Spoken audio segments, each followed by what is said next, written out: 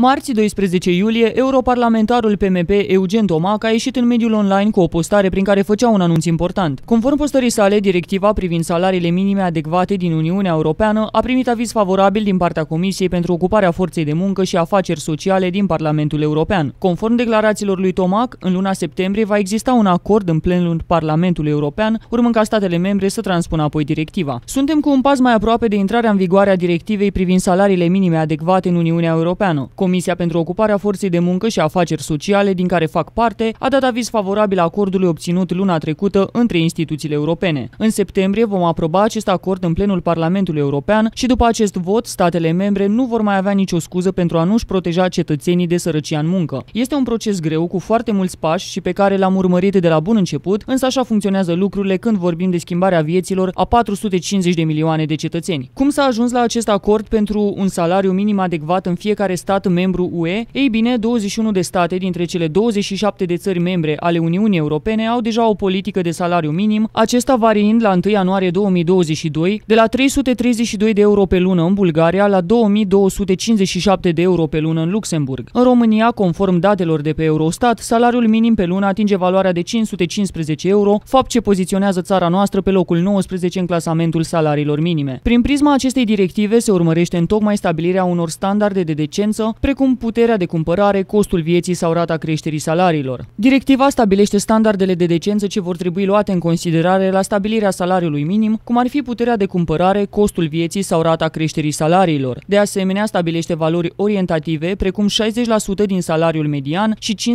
50% din salariul mediu la nivel de țară. Potrivit acestor valori orientative, ne-am putea aștepta la creșteri ale salariului minim de 20-25%.